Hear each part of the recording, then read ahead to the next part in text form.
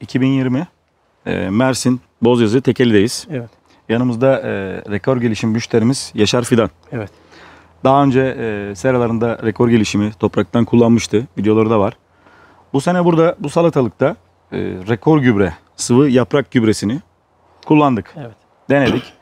E, en son geçen hafta oluşan iki hafta önceki soğuklarda, Soğuk- donlardan Soğuklardan bir hafta önce. bir hafta önce kullandık. Bir hafta Neler önce oldu? kullandım. Neler yaptı rekor gübre, yaprak sıvı gübresi Şimdi burada? bu sene e, mevsimlerle de alakalı herhalde. Hı hı.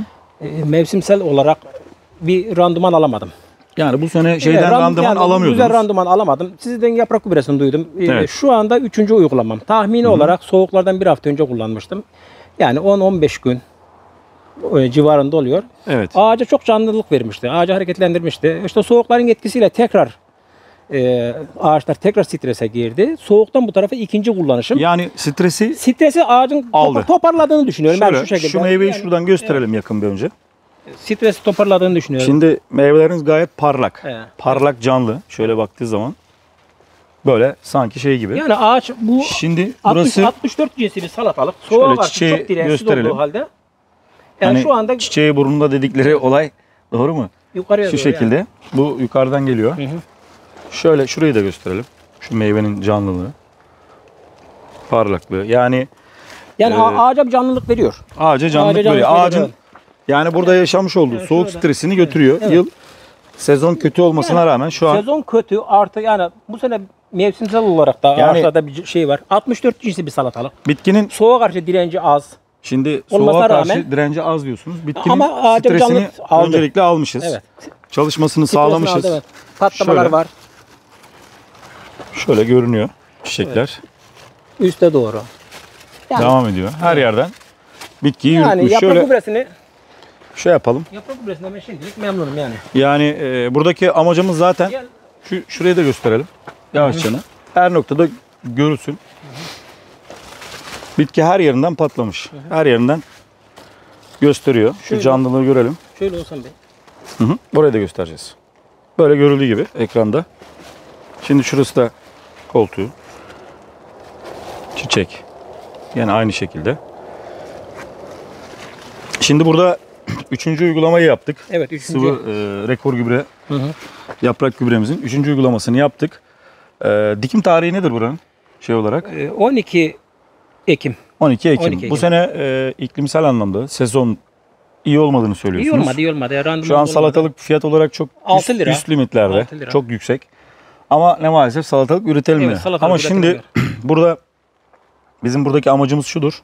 Yapraktan vermiş olduğumuz sıvı yaprak gübresi, rekor gübrenin burada bitkinin stresini atması, Evet. mevcut gücünü açığa çıkarması. Yani bu yaprakların, bu çiçeklerin şöyle şuradan gösterelim. Şu şekilde iştaha gelmesi ve tekrardan Arpalar, Çalışabilir arpa- duruma arpalar can- getiriyor. arpalar canlı zaten abi. Arpalar şu şekilde zaten can- canlı duruyor. canlı duruyor. Arpalar canlı duruyor. Ha bak şöyle.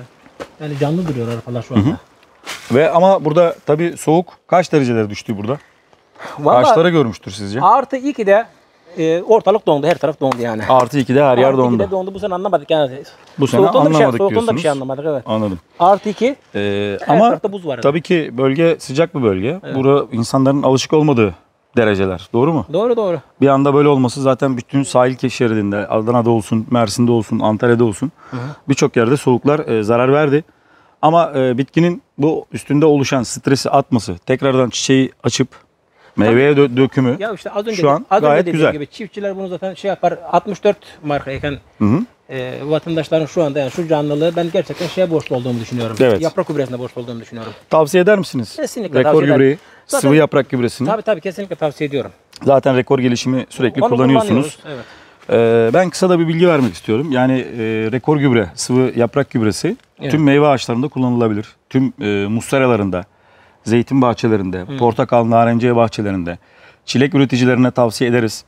Ee, herhangi bir yakıcı, bozucu bir durumu yok. Burada da siz zaten kendiniz 3 kere uygulama Tabii yaptınız. 200 litreye 300 gram koydum ilk Siz- uygulamamda. siz ilk Daha uygulamada sonra 200 grama düşürdüm. 200 düşürdünüz. litreye 200 gram. Tabii burada anlık etkiyi biraz daha arttırmak için biraz fazla kullanmışsınız. Hı hı. Ee, normalde bizim oranımız seralarda 100 litreye 150 milim şeklinde. Hı hı. Ee, biz teşekkür ederiz. Ben teşekkür Seranızı ederim abi. Ben gezdirdiniz. Şurayı ederim. tekrar bir gösterebilir miyiz? Şu çiçeği. Yani soğuk alakalı oluşan stresi yendi. Yani aynı. Sonucu net. Ee, şöyle bakalım ekrana tamamlayalım. Ee, buradan bütün Türkiye'ye selamlarımızı gönderiyoruz. Evet.